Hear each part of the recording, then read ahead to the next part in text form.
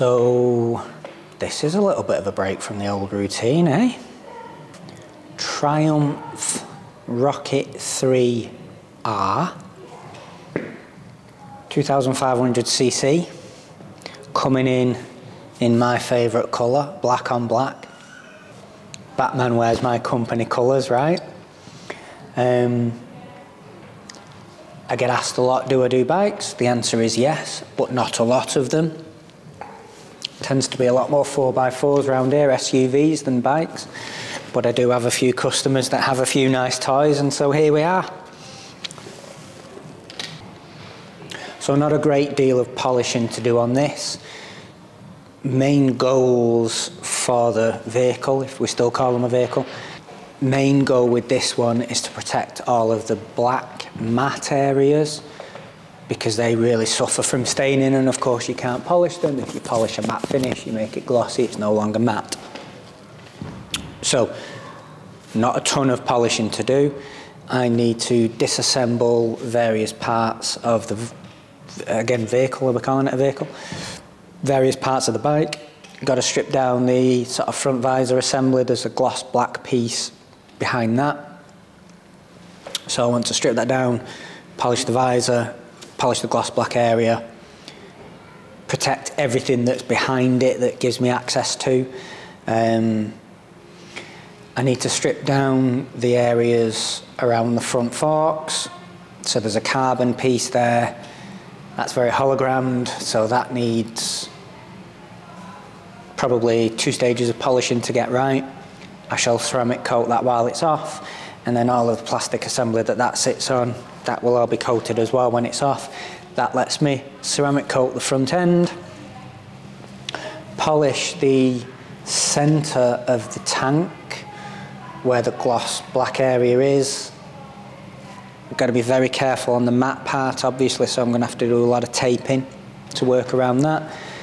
But that front part the carbon and this top piece are swirly and hologram, so they need dealing with, right?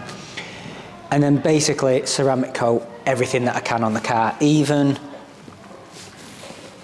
these matte or satin exhausts and headers. The, the problem with your matte blacks is if they do get wet, if they do get any chemicals on them, they can stain. So we want to stop them from staining as best as we can.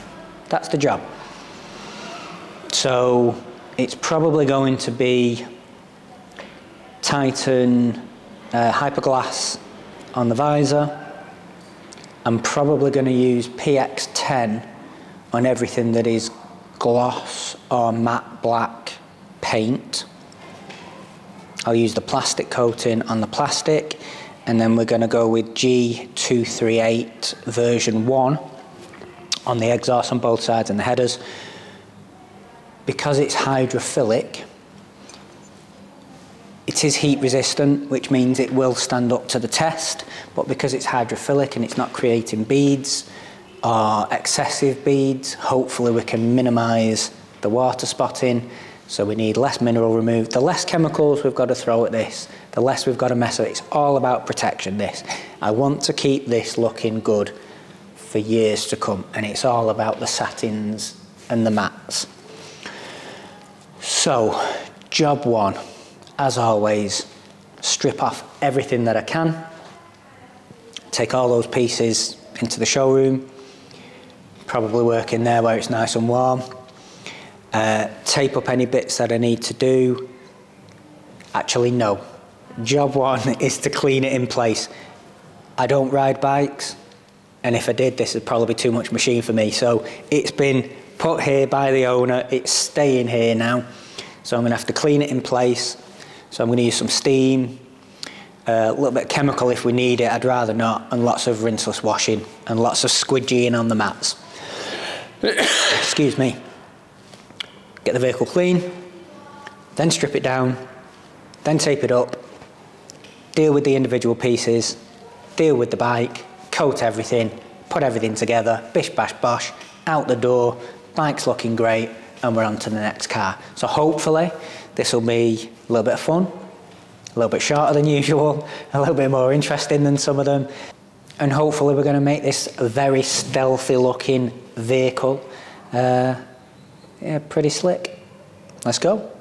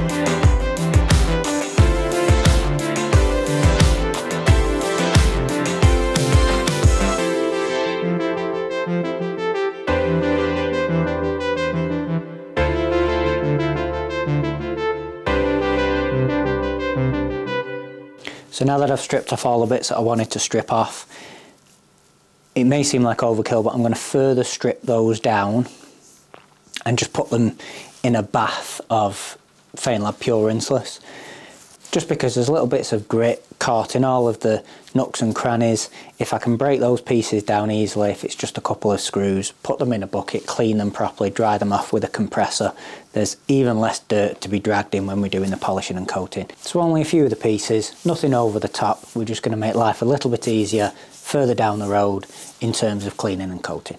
So let's get going.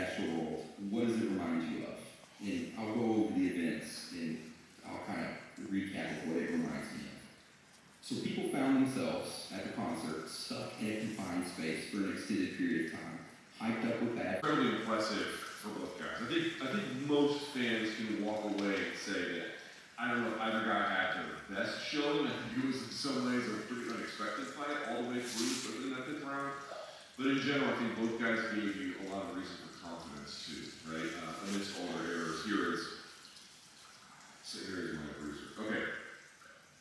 Um,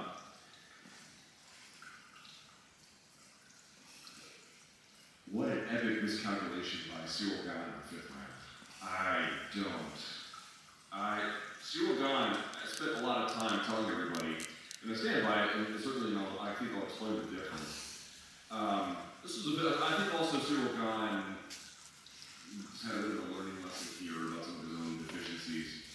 Um, perhaps related to fence wrestling, I think grappling in general. Obviously, he comes from striking. A lot of his uh, striking is, you know, you saw here today, right? Stick and move, either all the way in, he was clinching and wrapping, or he was all the way out, right? And that kind of thing, was smart. That's why he didn't do the roundhouse proper things to do in certain situations. Uh, obviously, you know, running the pipe to get on top of the fifth round is not a situation that Don found himself in a lot. But I want to tell you a story. Now, I've- often maintained this, always maintained this, I will forever maintain this. My training experience is merely as a hobbyist. I don't in any way wish to suggest that, um, you know, you, just you would be very careful of being the athletic who four touchdowns in high school and then using it as a reference point for professional athletes. However, what I will say is, and I think, you know, if there's any question about this, and know anyone else who grapples or having an extra favorite grapple, I do believe that they will say that there is probably something to this. It is probably true you will see a lot of really advanced grapplers get into a situation, a lot of, uh, where they might stand, wrap an ankle, and then sit for some kind of leg entanglement, whatever. That does happen pretty frequently, but there's a lot of different contexts to it. There can also be someone who is a little bit more of a beginner slash intermediate grappler, and what they'll do is they might not know how to pass. Might have a better plan than like Demian Maia. He's not a better grappler than Demian Maia, but he's got a better plan. And uh, Figueiredo has a great plan too, right? With his legs and with his arms, he can just find the submission fast. And he wasn't pulling the trigger with that as much. He wasn't trying, and the instincts behind that too, like clearly what Henry told him was, okay, what are you good at? Let's do those. But let's do those in a more calculated, systematic, programmed way to the extent possible. There will, it's a fight, it's chaotic, things are gonna happen. But to the extent possible, let's, let's, let's, let's bring this back. Now, I wonder, normally I would go into the stats a little bit later, but I wonder if the stats back that up in terms of aggregate volume. I've actually not looked. So let's see what they actually say about this, because if I'm right, there should be a little bit less volume across the board, from both of the three fight. Well, the first two, the, the second fight didn't go very long, so I guess between the first and the third. But let's see. All right. So this fight, 105 significant strikes for Brandon Moreno, um, 86 for Brandon for um, Vincent Figueiredo, but and this is a huge difference, three knockdowns. That is, um, it's going to be hard to win fights getting knocked out three times in a championship contest. And if we look at, so we got 105 to 86, okay. So if we look at the first fight, yeah, first fight 132, 137. So uh, about another round's worth of volume, basically, even more. And what was the average output in the second round, of the first fight, or excuse me, the second fight? So Brandon Moreno, 25 strikes landed, significant strikes in the first round of that one, then 10 and then 12. Um, let's see this one, how did he do? 10, 28 in the second, okay. 26 in the third, those are good numbers. It's back down to earth a little bit in the think volume was high, so that doesn't count. No, so that's not the issue on that side. Um, but relative to the second fight, but relative to the first one, significantly less uh, uh, overall volume. Okay, I'll come back to the stats here in just a minute. So it, it didn't so much pair up in the second. Well, the second one and the third one were more alike, I guess, but certainly was different between the first and the third. Neither here nor there. Clearly, Figueiredo had great leg kicks. Brandon Moreno, I think, was a little surprised.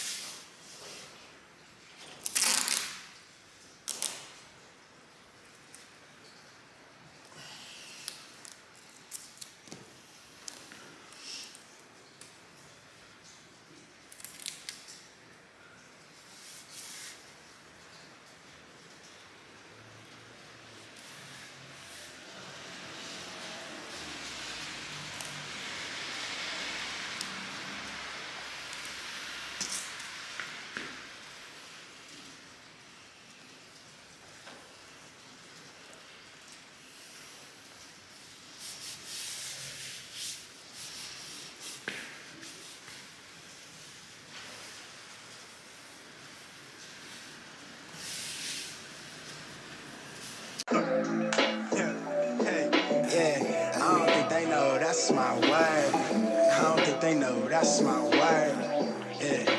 That's my. Hold up.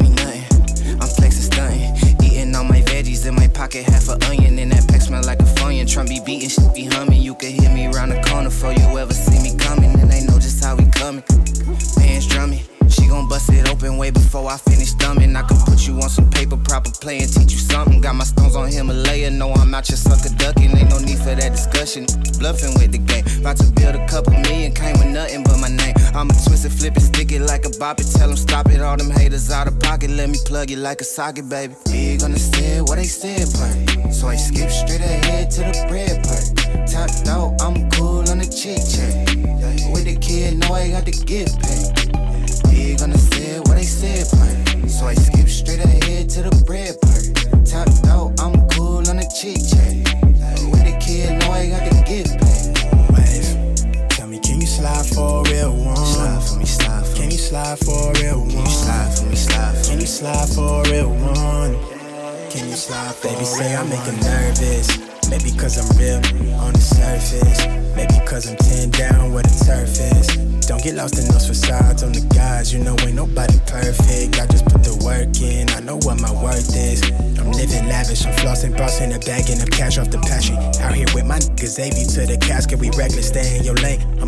till somebody cut the brakes. Cutting off these haters in the heads of the snakes. You're spinning the plan, but you catching on late. And she just sent emoji, said she wetter than a lake. So I better not flake. Take a break, say word. Hit me when you through with that, then we can shift again. My schedule been clear. These see me, they mad like I'm one of their peers. I put that on Sita, so I'm sure it's abundantly clear. I'm hella big on the said what I said.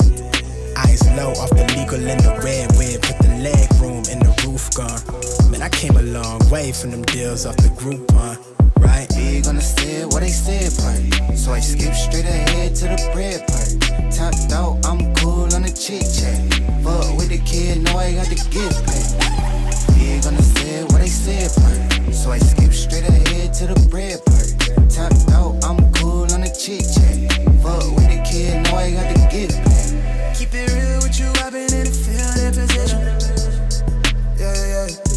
been trail, you could tell by how I feel when you with me. Yeah. Tell me, can you slide for me? Can you slide for it once? Yeah. yeah. Tell me, can you slide for it once? Yeah.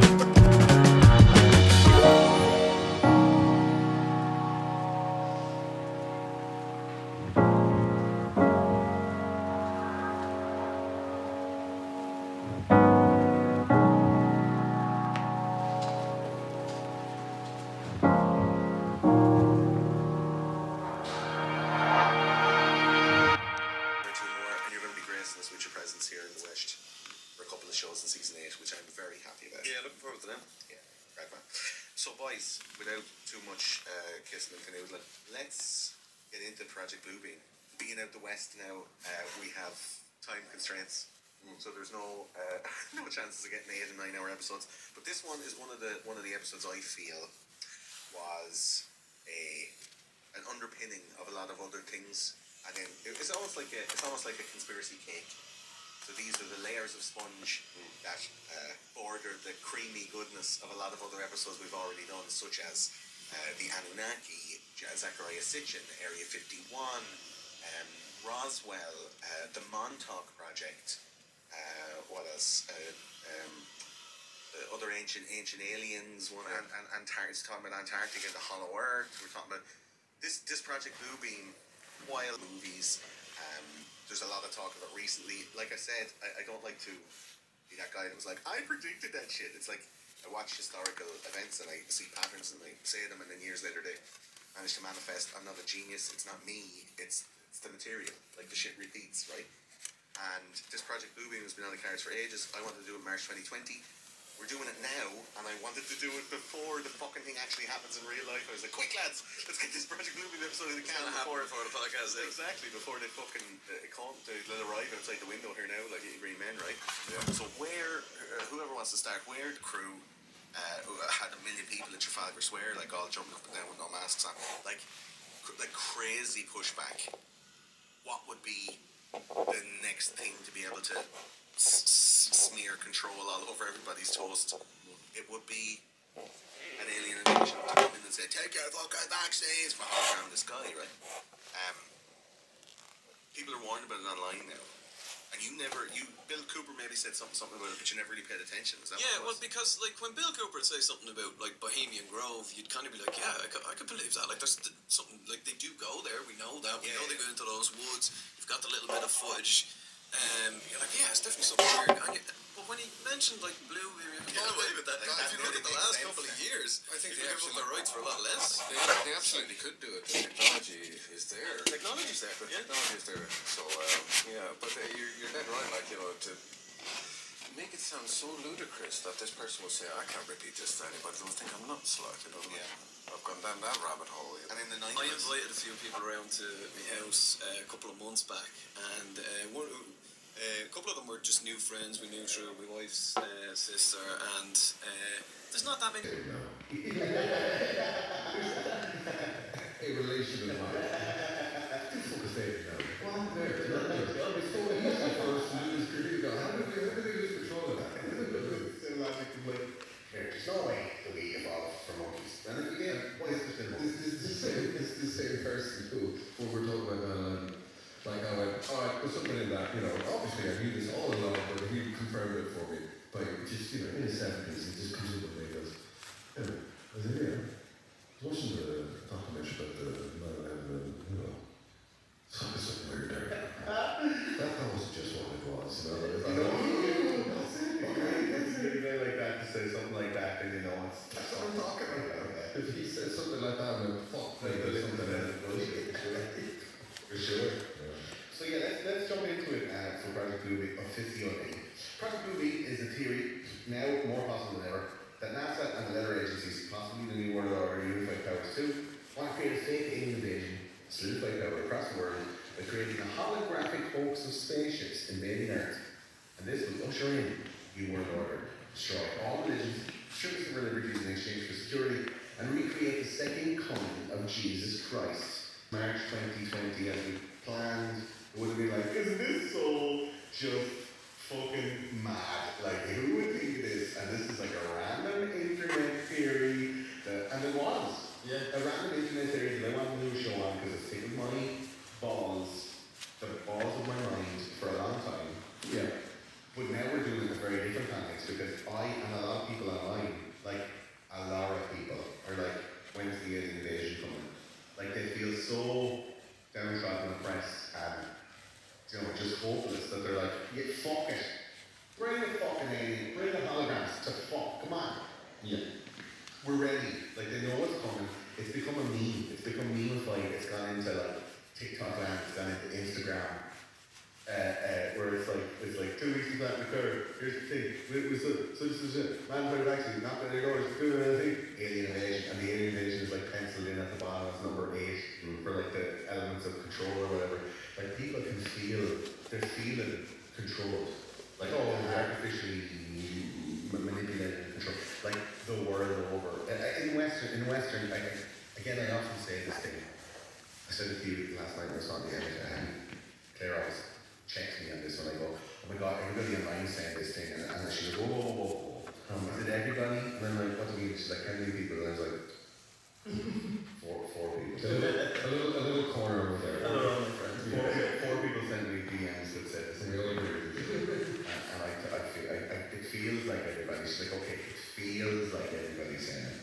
So when I say everybody online, I mean like a few hundred people, and they're all from like either UK or US. Nobody in China's gone on with this. I don't know. Anybody in Russia gone on with this? I don't know. But it's not. And you can see it online. And then people are getting chided for.